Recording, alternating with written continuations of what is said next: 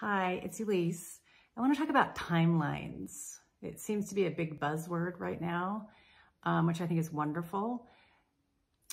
And my perception around it is, is that we create a timeline every time we make a choice. So whatever we're gravitating towards or whatever path that we want to take, those choices that we make guide us on that path. And then if we decide not to stay on that path and we start to make different choices, then we've created another timeline. So it's all about energy and what we're attracting when we're going down that path by the choices that we make. That creates a timeline.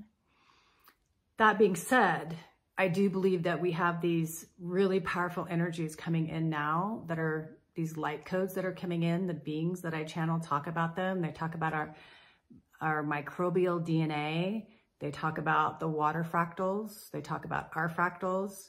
They talk about how we are so embedded in the earth in innate fear, given our evolution over such a long period of time of eons of reincarnation, that it's embedded in our DNA. And we're starting to work through that and release all of those fears that some of them we don't even know that they're there from my perception.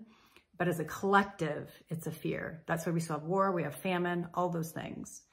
So collectively, we are progressing and we are working through those things.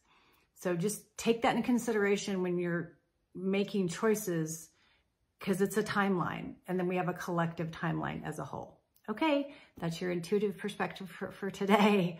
See you later.